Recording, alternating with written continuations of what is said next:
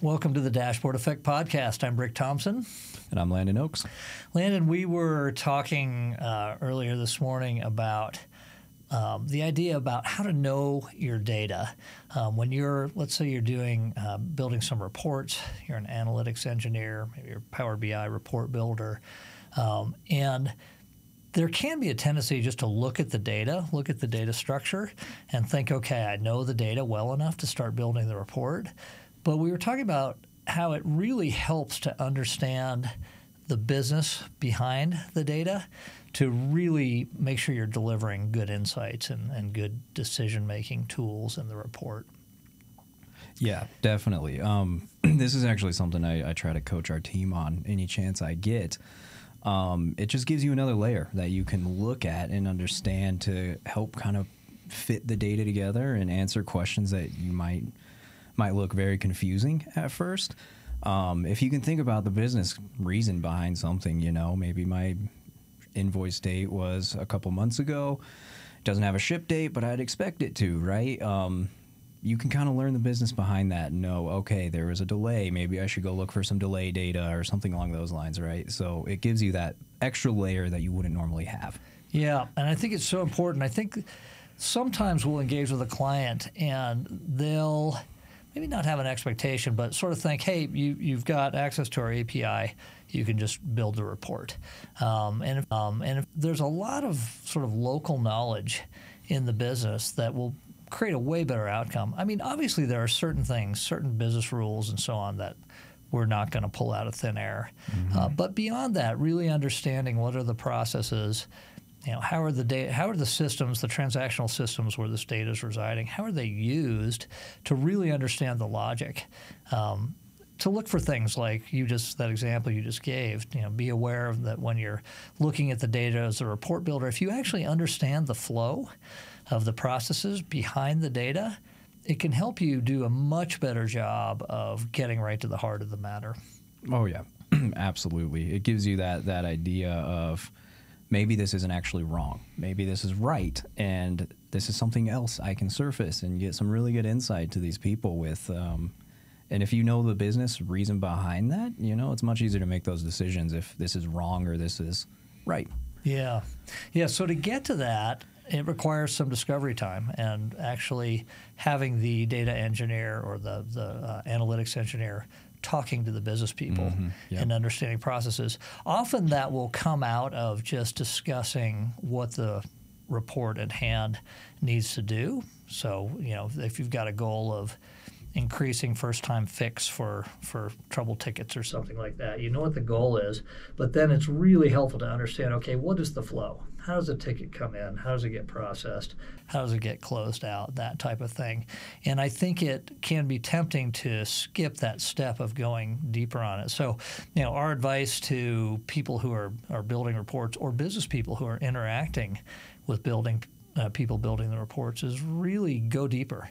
Make sure there's a deep understanding about it. It's it can be tempting to skip that and get right into the data, especially if you're a data person. You yeah. Know, it's, it's oh, fun yeah. to get your hands dirty and just get in the data and figure it out, especially if the relationships are set up already. You think you've got it, but don't assume you do. Go much deeper. And I think there's an art to that discovery process, mm-hmm. to that interview process. And it can be hard sometimes for a data person to relate to the business person and vice versa. So it really takes a, a special kind of talent to be able to to walk both sides of those. I think. How do you coach your your engineers on on how to do that? yeah, no, that's a good question. I mean, in general, like the overarching rule is be curious, right? Like, ask questions, understand. You know. Um, I, we always like to start with kind of a high level, like just tell me about this process. Like to your point, like we're working on tickets. Tell me about, tell me about it. You know, give, kind of give an open ended question just to start to really understand the flow of how these tickets get created, how they're managed. You know, um, and a lot of times we find that sometimes that'll lead down rabbit trails that'll they'll be like, oh yeah, we had this one issue, um, and it's still plaguing us to this day, right? Like, yeah. it'll reveal things that you wouldn't have normally found. Right. Um, but even beyond that, you know, you get that initial walkthrough, right? Next thing you need to do is you need to go put it, compare it to the data. Start to say, okay, this is what they told me. This is what I'm seeing. If you see outliers, that's that's a great time to put that in front of them and say, hey, you said this. This is what I'm seeing. What does this mean? Yeah. You know.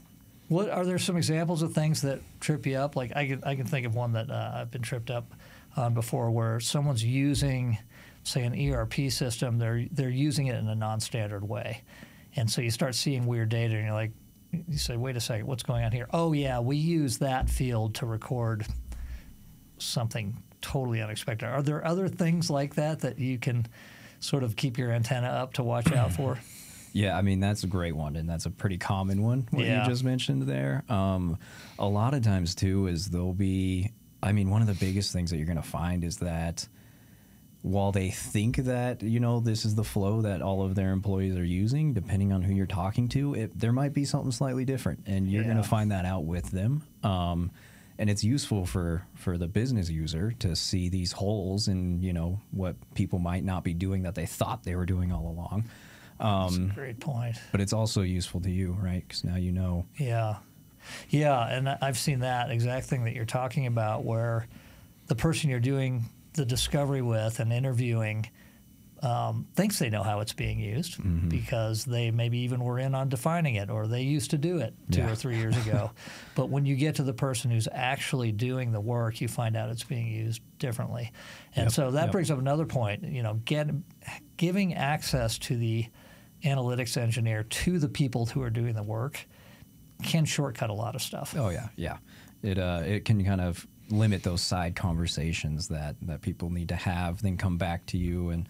Um, yeah, interviewing the person directly involved is sometimes incredibly helpful. Yeah, and I think uh, often uh, a company will, you know, not want to do that for good reason. Everybody's busy. We have the the sort of the the stakeholder who understands the big picture. They'll be able to do it, but sometimes you need to be able to drill further. And I, I can think of experiences where we've gotten sort of uh, hung up because we didn't have that data and and weren't given access to that person. Um, and then finally, when we did, we solved it quickly. So uh, you know, I would uh, I would recommend also that people just push hard for that Yep. that direct access to the user. The other thing that you sometimes discover as you're doing this discovery process is that there are data sources that people didn't really think need to be considered. Like you think, okay, well we gave you we gave you access to the main ERP system, that's all you need. But it turns out there's a critical data source, and I've seen that go haywire, where um, people thought there were one or two data sources that were important. Turned out there were nine. once once you did the deep dive, nine maybe to get to the to the data they want or the answers they want. So so important to figure that out because if you go far down the road of trying to build reports and it turns out you're actually missing stuff and you don't realize it for a while, that can result in a lot of rework. Yeah, a lot of rework or a lot of, you know, like almost band aid duct tape fixes, right? Like, Yeah. I'm going to put just a manual fix on this um, to fix this one issue. Well, it's going to happen again if you don't understand why that issue is there in the first place. Yeah. Um, and to your point, sometimes it's even like an Excel file, right? Somebody pulls the data into an Excel file, does some magic, The and infamous magic sheet. Yeah, Yeah. and nobody knows that that's happening. Yeah. Now we all know. Yeah, we do. And if you find that there is a magic sheet, literally, there's something called a magic sheet. Run, run the other direction. yeah, yeah. We've run into that more than once. All right. Well, I think we've covered it here. I, I think the point we really wanted to make was as much as it's fun to just get into the data, especially the data's in the data lake, you've got a semantic model, you've got relationships set up, um, you just kind of want to get in there and start producing cool stuff. Um, take a beat. Make sure you understand the business behind it. Make sure you've done good discovery with Yep. the business users and drill further if you can. Get to the get to the people who are actually maybe even entering data or Yeah, running yeah. the process if possible.